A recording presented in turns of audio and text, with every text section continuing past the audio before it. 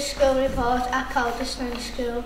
We are interviewing Kira Brody, who is a member of the UK Youth Parliament and also a student at Calderstone School. How did you feel when you were first elected?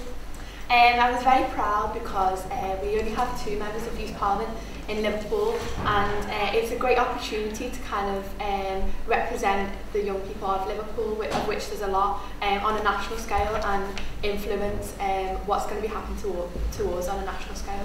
And how were you elected? Um, I was elected through Liverpool Schools Parliament, which is um, an organisation in Liverpool made up of all the secondary school councils. So yeah. Mm -hmm. Awesome. How do you feel when you were standing in Parliament with all with, with some of the with some of the most powerful people in Britain? Um, it was scary because like there is a lot of pressure attached to it because Parliament is the place where well war's been declared in Parliament, so it's a it's a big deal. Um, so I, I certainly felt a certain amount of pressure because not many people get the opportunity to do it. So um, MPs get to speak in Parliament and members of Youth Parliament get to speak in Parliament and that's it. Um, so I really wanted to um, do it well and do it properly um, because that's probably the only opportunity I'll ever get to do it. Do you feel um, proud of your accomplishments and if so, which one is you most proud of?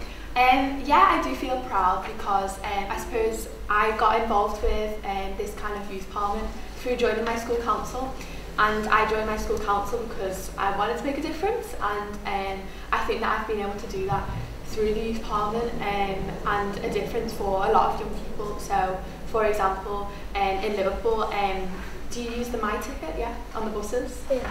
Okay, that's good. so it's a £2 Saveaway that we introduced in Liverpool um, to reduce um, transport costs for young people because we felt that they were too high. So, yeah.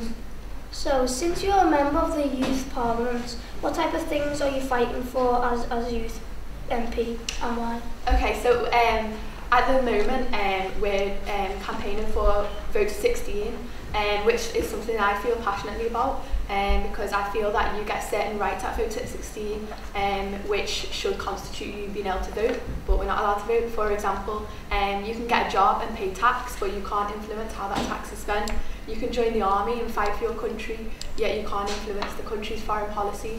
Um, I think there is a certain amount of like um, youth disengagement with politics in that we're not interested because we're not kind of like empowered through school education, political education in school. Uh, there's no pressure for it. Um, so I think that if we did have vote to 16, um, it would mean that a lot more young people were having a say on sort of big policies in government. Yeah. And, and how do you think that your time at Calderstones has shaped you and, and helped you? it's helped me a lot because I wouldn't be doing it now if I hadn't joined my school council. Um, so, and now I'm able to study um, politics and economics at A level, which I know in a lot of schools you can't, them subjects aren't offered. Um, so I think that like being a member of Calderstones has certainly um, like broadened my horizons. So, thank you for answering our question.